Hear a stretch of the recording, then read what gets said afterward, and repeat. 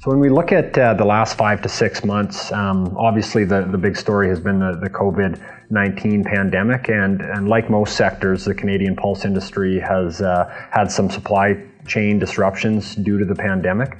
Um, especially in the early stages uh, of, of, the pandemic, we, we had a, a very limited availability of, of shipping equipment as uh, we rely, the Canadian pulse industry relies on incoming containers from markets like Asia that are then refilled with pulses and, and sold around the, the world. But supply chain disruptions aside, um, the, the global demand for, for Canadian pulses has been extremely strong over the past five to six months, um, and that's reflected in, in the export data. We're actually in this crop year uh, up about 40% in, in lentil exports and about 20% in pea exports compared to this period um, last year.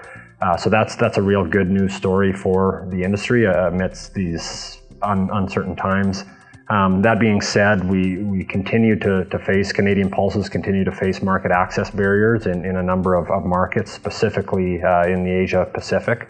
So uh, back in, in March, uh, and at about early April, uh, the, the government of Nepal introduced an import ban on, on peas uh, from all origins, and this, this ban was introduced without any prior warning, um, nor did it take into consideration shipments on route. So our industry is, is continuing to, to deal with that today. Uh, there's, there's a number of, of shipments that were caught up in that and are being refused entry into to Nepal. So we continue to ask our, our government, the government of Canada, to work with their uh, uh, counterparts in Nepal to, to get this issue resolved as, as quickly as possible.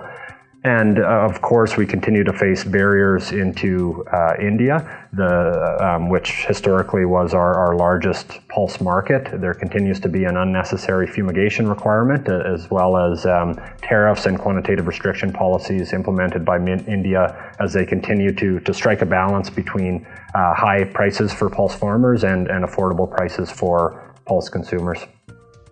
On the fumigation requirement, Canada continues to work bilaterally with India to find a science-based solution that would allow Canada to, to get an exemption from this requirement as we've proven that we can provide pulses to India that meet their quarantine requirements without the need for fumigation.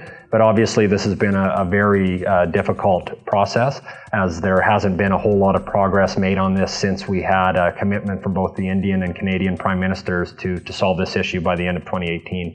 Um, but in recent months, uh, there, there's been some uh, meetings between our Minister of Trade and her counterpart in India regarding the matter. So that's uh, somewhat promising, and we hope that that dialogue continues.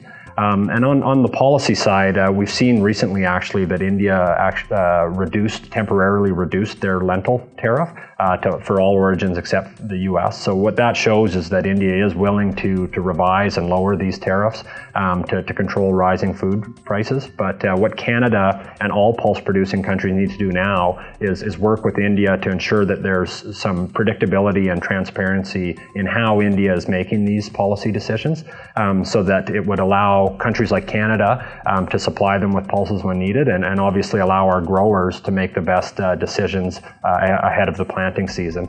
And, and we also feel that it would help India uh, in, in ensuring food security and, and, and price stability in their own country. So, so that effort uh, is being led internationally by the Global Pulse Confederation. Pulse Canada is involved in that as they uh, partner with government groups in, in India that are involved in setting egg policy. And um, what, what the GPC is doing is, is bringing together all pulse producing countries uh, in an effort to try and improve the, the trading relationship with, with India, um, which continues to be the, the world's largest pulse consumer.